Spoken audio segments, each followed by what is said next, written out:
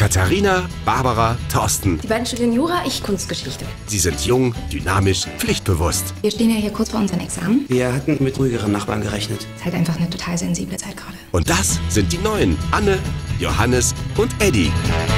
Warum wohnt ihr jetzt wieder zusammen? Es ist lustiger, es ist billiger. Wir können euch nicht helfen. Was meinst du denn? Ja, mal was Schweres tragen, mal zur Apotheke, mal was im Handymenü erklären. All diese Sachen. Wir haben keine Kapazitäten. Haben wir die irgendwie erschreckt? Hallo? Die haben mich erschreckt. Seid ihr nicht auch einfach echt ein bisschen alt für das viele Feiern? Ihr seid die Woche dreimal Treppenhaus putzen. Wir putzen kein sauberes Treppenhaus. Ab jetzt ist Ruhe. Absolute Ruhe. Sonst lernt ihr uns kennen. Ich habe nur zwei Flaschen. Sind die noch von Silvester?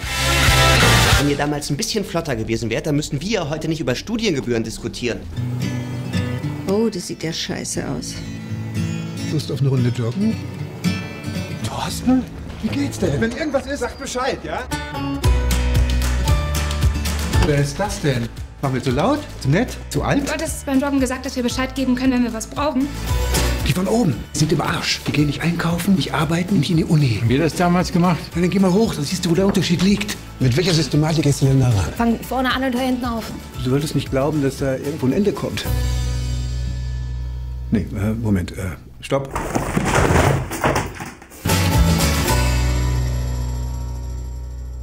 Wird die Prüfung nicht schaffen, dann habe ich kein Examen und dann will ich so enden wie ihr.